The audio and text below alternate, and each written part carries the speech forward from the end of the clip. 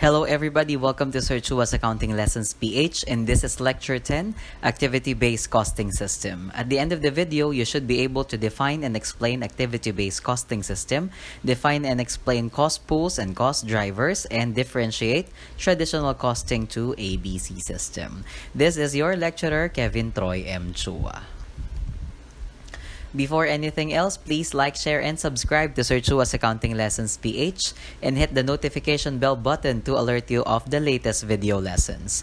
For all of your questions, comments, and suggestions, please put them down in the comment section below. And for webinar and speakership invites, please send me a message at kevintroy.chua1994 at gmail.com.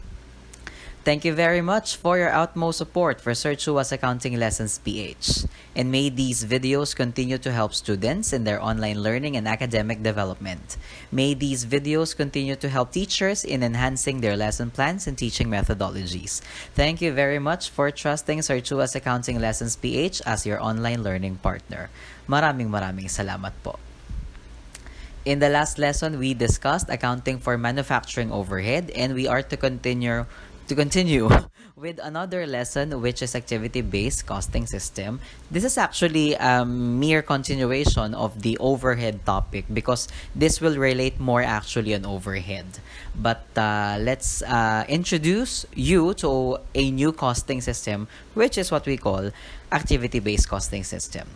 Before that, let's discuss first traditional costing or the thing that we learned so far, no? Yung ating pong traditional costing at paggamit ng predetermined plant-wide rates, okay? Broad averaging or peanut butter costing system describes a costing approach that uses broad averages for assigning the cost of resources uniformly to cost objects when the individual products or services in fact use those resources in non-uniform ways. So, di ba nga po, dun sa nakaraang lesson, gumaga, uh, nag-allocate pa tayo ng mga service department cost, tapos iba-iba po yung ating mga pinanggagalingan ng overhead, and then ang ginagawa po natin is pwede po tayo mag-compute ng single plant-wide or predetermined overhead rate. And then what happens is that like how we do it, kukuha tayo ng peanut butter at kung paano po natin i-spread yung peanut butter sa tinapay, ganun din po tayo mag-allocate ng ating overhead cost, no? A single plant-wide rate is being applied into the whole production process. That is what we call traditional costing or peanut butter costing system. Kaya nga po siya tinawag na peanut butter costing system. It's because kung paano tayo tayo kumuha ng peanut butter, ini-spread po natin sa entire piece of bread dun sa mismong tinapay. Like how we do it in the peanut butter, the overhead is also applied to the production uniformly. However, tingnan nyo po yung nakalagay dito. Yung mga resources po natin and the production process itself, eh, non-uniform po ang paggamit natin iba-iba po ang level natin ng pag ng na-allocate na service department cost. Iba-iba po yung number of machine hours na nagagamit natin para dun sa uh, specific na production process. So basically, sometimes traditional costing is medyo misleading, no? I'm not saying it's wrong, but sometimes it might be misleading that we are costing products uniformly when in reality ang paggamit po natin ng uh, mga overhead na activities natin eh, hindi pare-pareho. Lalo na po kung iba-iba ang product lines ng isang manufacturing company. So, ang nangyayari po kasi when we are using a single plant-wide predetermined overhead rate, nagkakaroon po tayo ng product cost cross-subsidization. If a company undercost one product, it will overcost at least one of its products. Meron po tayong isang product na undercosted, mas mababa ang cost kesa sa inaasahan, pero dahil po may na undercost, meron po tayong product na ma-overcost. Okay? So, kailan po natin masasabi that there is product undercosting and there is a product overcosting? Product undercosting happens when a product consumes high level of resources pero ang nire-report lang po natin cost sa kanya is much more lower than expected. And then, pag overcosting naman po, it happens when a product consumes low level of resources but is being reported on a higher cost than expected. Okay? So, ganun lang po kadali. Pag undercosting, mas mababa kesa sa inaasahan. Pag overcosting, mas mataas kesa sa inaasahan. Okay? So, ang gusto nating maiwasan is, in as much as possible, we are able to cost our products in a more detailed, hindi lang detailed, pero talagang mas specific at mas concise and precise. Okay? Mali yung concise, precise pala. Sorry, okay? So, that mas precise yung costing natin ng product. Para maiwasan natin yung undercosting and overcosting, pwede tayong gumamit ng tinatawag nating activity-based costing. What happens in activity-based costing? From the word itself, you are costing your activities based on the activities themselves that is involved in the production process. Activity-based costing system allocates overhead cost to multiple activity cost pools and assigns the cost pools to products by means of cost drivers. We have two new words that you need to understand which is a cost driver and a cost pool. A cost driver is a factor that causes change in the cost pool for a particular activity. Siya yung basis natin ng mga pangyayari. Number of machine setup, number of pounds used, yung mga ganon. Okay? It is used as a basis for cost allocation.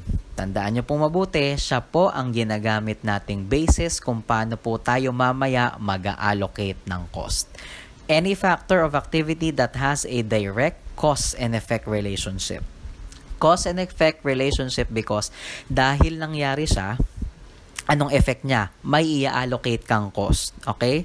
Again, bakit po siya cause and effect relationship? Dahil may nangyaring cost driver or merong cost driver na magiging allocation ng cost basis mo, magkakaroon ng effect. So, ang dating, pag yung activity mo mas mataas, yung cost na ma-allocate parang mas mataas. Okay? Later, kapag ka may amounts, mas magiget nyo na siya. Okay?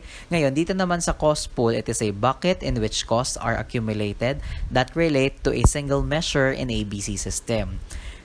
Imagine a swimming pool, 'di ba? Ang isang swimming pool ipon lahat ng tubig. In activity-based costing system, kaya natin siya tinatawag na cost pool, nakaipon lahat ng cost ng product bago mo ma-allocate. Okay? Kaya siya tinawag na activity post. Ah, sorry, activity cost Okay. Now, for you to understand further yung ating pong cost driver and cost pool, edi mag-problem na tayo. Okay, let's try. The following cost information has been established by the accounting department of XYZ Manufacturing Company. So, binigyan po tayo ng during the period, ang direct materials po na used is 495,000 and then the direct labor used is 600,000. Now, for overhead, these are the activity cost pools, okay? Machine setups, which is 300,000 and then materials handling po is, ang na-incur is 150,000 hazardous waste control 50,000, quality control 100,000 and other overhead cost 300,000. Now the cost driver which will be the basis ng ating allocation of overhead later is pag machine setup kung ilan yung setup na nangyari. Okay? And in that specific period naka 100 setups po tayo. And then syempre yung materials handling gaano kabigat yung materials na hinahandle, di ba? Okay, which is 50,000 pounds for that specific period. For hazardous waste control, it's the weight of hazardous waste, which is 10,000 pounds. For quality control is kung ilan yung inspections na nagawa para magawa yung quality control procedures. So for that period, naka 1,000 inspections po tayo. And then for any other overhead cost, syempre machine hours. Okay? Ano po itong mga other overhead cost? Pwedeng nandito yung ating mga depreciation o kaya utilities. So, depende po. Oh, utility, yun. Depende po no, sa sa galaw ng company sa production process. Okay? So, just to simplify, let's just call it other overhead cost based on machine hours. And in that specific period, 30,000 machine hours po yun nagamit. Okay, so this is your detailed cost information. So i-break down po natin based on the three product lines of the company, which is product X, product Y, and product Z. At, at yung 495,000 kanina, tsaka yung 600,000 na materials and labor, ito po yung breakdown. 150, 180, 165, and 200, 200, 200. Okay, what can you infer from this? Pwedeng pare-pareho lang siya ng proseso, kaya pare-pareho yung direct labor cost, pero baka yung mga materyales na ginagamit mas mahal sa product Y. Pwede siguro si product X ay uh, plastic lang, si product Y bakal. Yung mga ganun, no? Minsan ay ilalagay nyo yung shoes nyo on a being a manufacturer para mas naiintindihan yung problem. Although hindi natin kailangan yung ganong information na yun ngayon sa problem, okay? Kasi ang, ang ating mas pag-uusapan ngayon is more on the overhead side, okay? And then, Di ba kanina binigyan po tayo ng 100 setups, tapos yung na-handle daw materials is 50,000 pounds, for the hazardous waste, 10,000 pounds, taka 1,000 inspections daw po at 30,000 machine hours yung nagamit. Ngayon, bin-breakdown po yan per product, per activity. So, kunyari, hindi ko nalalahatin isa-isa. Kunyari, for product X, naka 45 machine setups tayo. Okay? Yung materials handling naman for product Y, 10,000 pounds yung na-handle. Okay? And then kay product Z naman po is 400 times po na nag-inspect. Okay? Kaya hanggang sa mabuo yung 1,000 na inspections which is 400 inspections from product X, 200 inspections from product Y, and another 400 inspections from product Z. Okay, ganun lang po siya nakaspecify lang po dito yung lahat ng activities na nagawa natin. Okay, so for this problem na sasagutan natin, i-assume po natin na lahat ng product lines ay nakabenta po tayo at nakapag-produce. Okay, so ang pinroduce daw po natin is 2,500 units for each of the products at nabenta daw po natin lahat ng production. Okay? Huwag natin pahirapan. And then, uh, meron po tayong selling prices. So, the selling price of product X is 400 pesos.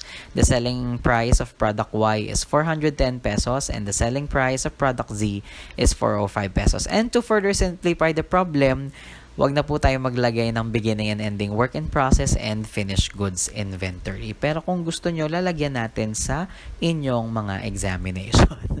okay, so the requirement is let's compute for the product cost and gross profit under traditional costing and compute the product cost and gross profit under activity-based costing system. Okay. Siyempre, mas madali yung traditional costing kasi yan na po yung ating nakasanayan. O, di try natin sa traditional costing. This is how we do it in traditional costing. Ayan. Lista nyo lang po yung direct materials used for product X, product Y, and product C, and you get the total. Given naman na po yan, di ba? Okay. And then direct labor po natin is 200, 200, and 200, which gives you 600,000. Now, in traditional costing, ang ginagawa po natin is predetermined overhead rate. Kung paano po natin i-allocate yung overhead, ay uh, depende po sa magiging predetermined overhead rate. Let's assume for this problem that the factory overhead is being allocated and applied to production on the basis of the number of units produced and sold. Okay? So, si product X ay nakapag-produce po tayo ng 2,500, same with product Y and with product C. So, ang ating pong magiging allocation is 25 over 75 in which, since pare-pareho lang naman sila ng allocation multiplier, you just simply divided by 3 actually. So, 900,000 divided by 3 is 300,000. Or you can do the more formal way, 900,000 times 25 over 75. Pwede din po yon. Ngayon, kung sabihin sa inyo sa problem na uh, in traditional costing, uh, nakadepende siya sa direct labor hours or sa machine hours, eh marunong naman na po kayo noon dahil napag-aralan na po natin yon sa predetermined overhead rate. Now, in this problem, ang ginamit natin is the number of units produced and sold. Yun po yung ating naging basis to allocate your overhead per product line. So, ito po yung mga applied overhead natin dyan. Okay? So, as you know it, the trio of materials, labor, and overhead, yun po ang total manufacturing cost. Okay? So, for product X is 650,000, for product Y is 680,000, and for product Z is 665,000. Okay? Yan na po ang ating magiging cost of goods sold dahil lahat po ng ating pinroduce na 2,500 units is nabenta din naman. Okay? So, kung ano yung total manufacturing cost natin for this problem, yan na din po yung cost of goods sold natin kasi nabenta naman siya lahat. Okay? So, in computing the gross profit, apply lang po natin yung selling price for product X is 2,500 units sold at the selling price of 400 pesos. And then for product Y is 410 pesos and for product C is 405 pesos. Okay? We will deduct the cost of goods sold na na-compute po natin kanina, which is 650, 680, and 665. Then just get the total alam naman po natin na ang total ay ginagamit po natin para saan? For income statement purposes ng GAAP, 'di ba? Pang GAAP po 'yan, pang financial accounting information po 'yan, okay? So, computing for the gross profit for each of the product lines for product X is 350,000, for product Y is 345,000 and for product C is 347,500 pasukan ko lang po ng dati nating konseptong na pag-aralan, if you would remember, hindi po tayo nagre-report ng external financial statement na ang income statement ay naka-breakdown into product line. Ang nire-report lang po natin under financial accounting is kung ano po yung ating income statement na totality of the entity. So, sales of 3,037,500 minus cost of goods sold of 1,995,000. That is your gross profit of 1,042,500. Yan po ang nire-report natin under GAAP. However, for managerial accounting, dahil ginagamit na po natin siya for operational decision making, internally, pwede na po nating i-prepare yung ganitong income statement para mas mapag-aralan ng mabuti yung ating cost information. So, we can break down yung ating pong income statement per product line. Kasi ginagamit po natin siya for decision making. Pero never po natin ginagawa yan under financial accounting. Yan po yung nakasanayan yung traditional costing system. Applyan na po natin ng ABC. First step is to calculate for the overhead pool rates per activity Saan po nakabase? Sa cost driver. Ano pong sabi natin kanina? The basis of the allocation of your overhead is based on the cost drivers. Charan! Ganito po yan. Madali lang yan. If machine setups is 300,000 for the period and the number of all the setups done during the period is 100 setup, you just simply divide. 300,000 divided by 100 setup is 3,000 pesos per setup. For materials handling naman po is 150,000 and 50,000 pounds po. So divide nyo lang 3 pesos per pound. For hazardous waste control, 5 pesos per pound. For quality control, 100 pesos per inspection and other overhead cost is applied at 10 pesos per machine hour. Okay? Pag sinabi po kasi nating activity-based costing, nakita nyo talagang detalyado, di ba? Ang application natin ng overhead is talagang iisa-isahin mo pa lahat ng activity. Kaya nga tinawag na activity-based costing. Bababa tayo sa detalye ng production process base sa kung anong activity ang ginawa ng company. Kaya siya tinawag na ABC. Okay? Step 2 is to allocate overhead based on uh, on activity using the pool rates that you have already calculated. Charan! Oh, ganito po yan. Huwag kayong malula. Madali lang yan. Okay. Remember na ang ating pong pool rate for the machine setup is 3,000 pesos per setup. ba? You simply multiply it to the assigned number of setups na ginawa per product line. Balik po kayo sa given natin kanina ang product X po ay naka 45 setups, si product Y ay naka 30 setups, at si product Z ay naka 25 setups. You simply multiply the pull rate based on the activity per product line. Okay? So for example, 3,000 times 45 is 135,000. 3,000 times 30 is 90,000 and 3,000 times 25 is 75,000. Yun na po yung 300,000 na nandun po kanina sa ating total machine setup cost na overhead. Okay? Ganon din po ang gagawin natin sa materials handling. Kung babalik kayo sa given kanina, ang nakuha nating pull rate is 3 pesos per pound. Naka 15,000 pounds ang na-handle for X, 10,000 pounds for Y and for Z. Simply multiply and you get 45, 30, and 75,000.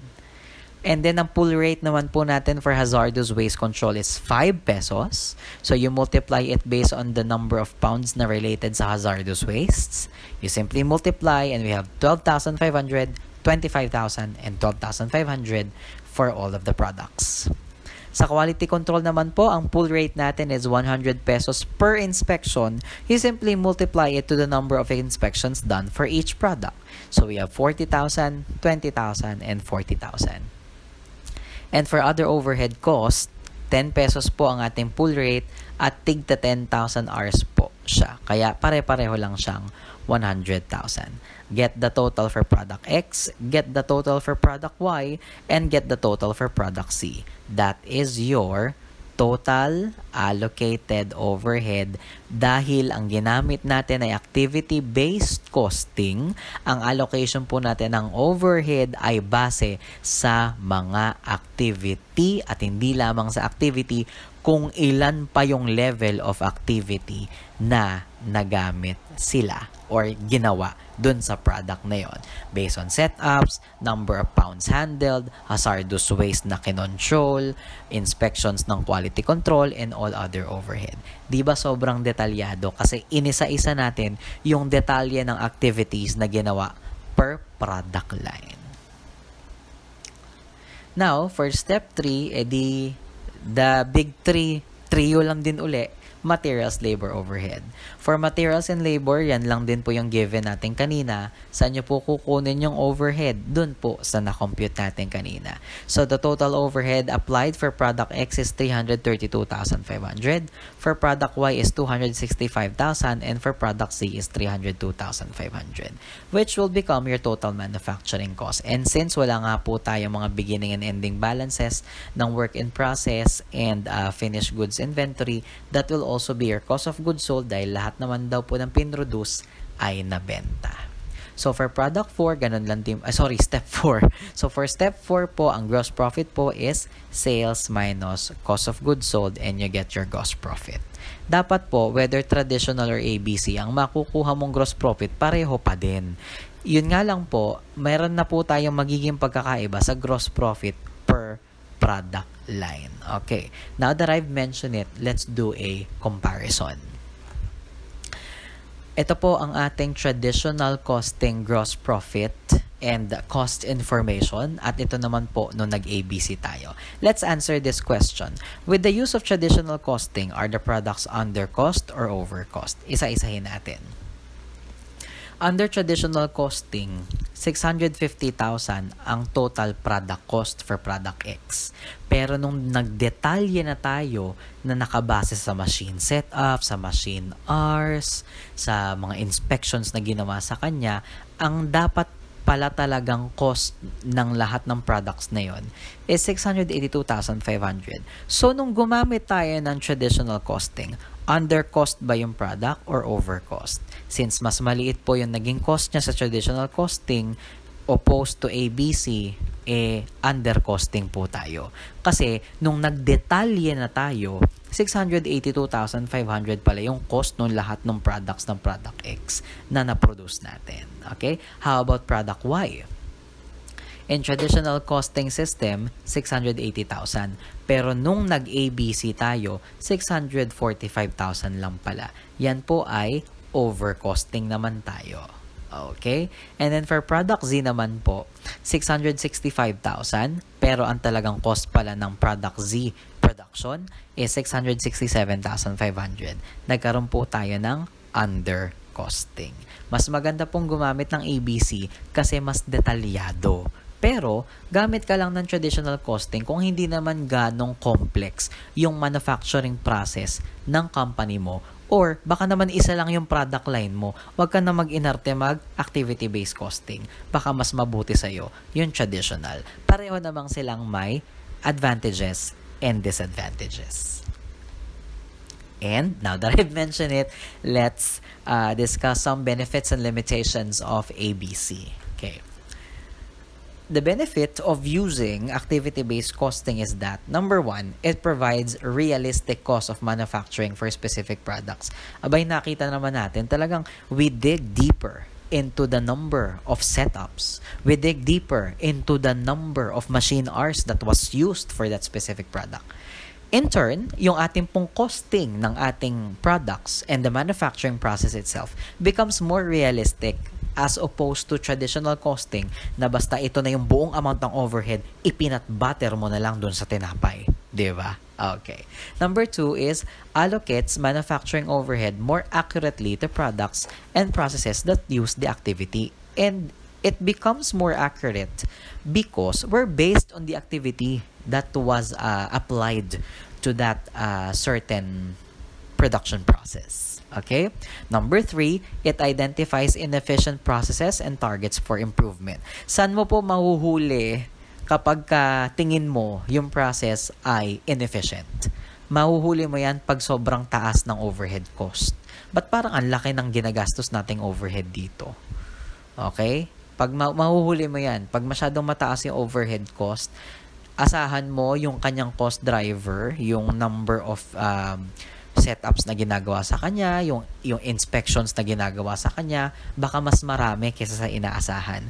Pag gumamit ka na activity-based costing, huli mo yon. And in turn, because you are already able to identify inefficient processes, you can now point improvements that should be made in the production process. Number four, determines product profit margins more precisely. Mas nalalaman natin yung product na talagang kumikita at alam natin yung product na mas lower ang uh, ang uh, margin or kinikita. It's because yung costing natin ng produkto is talagang mas precise. So yung pagkuha natin ng profit margin is mas precise. Okay, next po discovers which processes have unnecessary and wasted cost. Para pong number 3 na ma-identify po natin yung inefficient processes. Malalaman din po natin under activity-based costing system kung meron tayong wasted cost or unnecessary cost. Mahuhuli nyo po yan pag masyadong mataas yung overhead. Okay?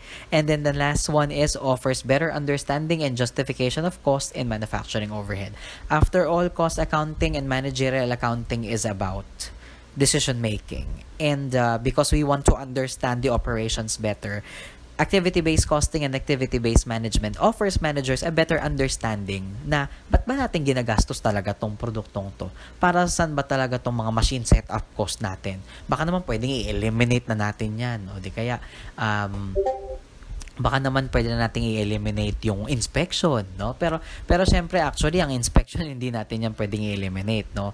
In example ko lang siya na baka merong kailangan mga processes na pwedeng hindi na natin pagdaanan at ano yung mga processes na dapat natin pagdaanan, okay? Depende po sa company kung anong uh, kung anong pwede nilang i-apply sa production process, okay? Pero yung sinabi ko kanina na baka pwedeng wag na mag-inspection, depende pa rin yun sa company kasi mas maganda naman talaga na merong inspection. O, di naman tayo sa limitations. Bakit naman hindi ka mag-ABC? Okay? Number one, collection and preparation of data is time consuming. Ay, totoo naman, di ba? Sabi nga natin, kaya nga tayo nagno-normal costing system, kaya nga tayo nagpipredetermined overhead rate, is para mapabilis yung cost information natin and in turn, makapag-decide tayo ng prices na mas mabilis. However, if you will be using activity-based costing system, time consuming po ang pagkuha natin ng data. Imagine, per product line, you need to know the number of setups. You need to know the number of inspections that was done. You need to know the cafeteria cost that was allocated to each product. Ganun siya, isa-isayin mo. Okay? And then, costs more to accumulate and analyze information mas costly po, may gastos din po kasi sa isang kumpanya pag nag-activity-based costing system po siya eh. Okay? Siyempre, the, the accountants would spend more time in analyzing things and then yung ating pong mga production managers would be digging deeper into the details. So, it entails cost. Kahit sabing iliteral natin na mas longer yung kanilang uh, hours sa opisina o hindi po kayo sa opisina doon sa factory because they're analyzing things, 'di ba? It increases your utility cost, it increases your salaries, 'di ba? So dahil more time is being spent because of the digging deeper into analysis, eh, mas mataas po yung cost talaga na nagagastos natin kapag ka po tayo ay nag-ABC. Source data isn't always readily available from normal accounting reports. No, if you really want to use ABC, your accounting system should be really set up to use ABC, no? Kapag ka normal accounting reports baka hindi siya makatulong agad-agad sa iyo. Ang ingay naman nito. okay, next. Reports from ABC don't always conform to GAAP and can't be used for external reporting. Yan naman po lagi yung sinasabi ko sa inyo na kaya nga po galing sa normal costing eh naga naga-adjust tayo ng variance kasi for external reporting kailangan natin actual product cost, 'di ba? How much more pag gumamit tayo ng ABC? Baka meron tayong mga ABC methodologies na hindi pa nagko-conform sa GAAP So, watch out po tayo doon kasi baka in decision making okay tayo pero sa external reporting nat- natin under GAAP baka hindi na tayo sumasabay. Okay? Data produced by ABC may conflict with managerial performance standards previously established from traditional costing methods. So let's say for example, the company started with the use with the use of tra- traditional costing methods, biglang nag-ABC. So yung ating pong pag-check ng performance standards uh, per manager or per department, dapat i-conform din po natin siya with ABC. Kasi hindi magtutugma yan pag bigla-bigla lang kayo nag-ABC. And then lastly, may not be useful for companies where overhead is small in proportion to total operating cost. Yan yung sinasabi ko kanina, na baka naman isang product line ka lang, wag ka nang mag-inarting gumamit ng ABC, baka mas applicable sa'yo si traditional costing system. Okay? So, kailan ka po gagamit ng ABC? When will you switch to ABC? When your product lines differ greatly in volume and manufacturing complexity, so lalo na kung ikaw ay malaking production process like San Miguel Corporation, 'di ba? Ayun, or iba-iba yung or kung lahat ng minamanufacture mo pagkain, pero iba-ibang pagkain naman. So, so pwede kang gumamit ng ABC. Or di po kaya product lines are numerous, diverse, and require different differing degrees of support service. Okay? So, baka po, dahil sa different product lines na meron ka, iba-iba po yung activities na nakapaloob sa overhead mo. You need to switch to ABC. Hindi na magiging applicable sa iyo yung standard predetermined overhead rate. Overhead costs constitute a significant portion of total cost. Kung sa trio ng magkakapatid na materials, labor, and overhead is overhead cost is a big portion of the total product cost, then you need to be detailed and precise. Traditional costing will not be applicable to you because malaki ang portion ng overhead sa total product cost mo ay nako, kailangan yung mismong cost mo ng overhead precise ka dapat dyan. Okay? And then the manufacturing process or the number of products has changed significantly. So kung dati one product line ka lang, lumalaki yung company mo, nag-offer ka na ng iba-ibang products and services. So baka kailangan mo na mag-ABC. Kasi nung one product line ka lang, applicable sa'yo si traditional costing, pero nung dumadami na yung product lines mo, nagiging complex na yung operations mo, ay nako, baka kailangan mo na mag-ABC dyan. Okay? And then production or marketing managers are ignoring data provided by the existing system. So if the existing system is not helpful already in decision making, and then I think it's better to switch to ABC so that the data will be more helpful in decision making. Thank you very much for these wonderful websites and textbooks and handouts that we used for this uh, lesson for today. And our next lesson is job order costing system. Again, please like, share, and subscribe to Sir Chua's Accounting Lessons PH and hit the notification bell button to alert you of the latest video lessons. For all of your questions, comments, and suggestions, please put them down in the comment section below. And for webinar and speakership invites, please send me a message at kevintroy.chua1994 at gmail.com. This has been Sir Chua's Accounting Lessons PH College Edition, and we're still at Cost Accounting and Control. To God be all the glory, honor, and praise. Thank you and have a great day. Reach for your dreams. Hiraya Manawari.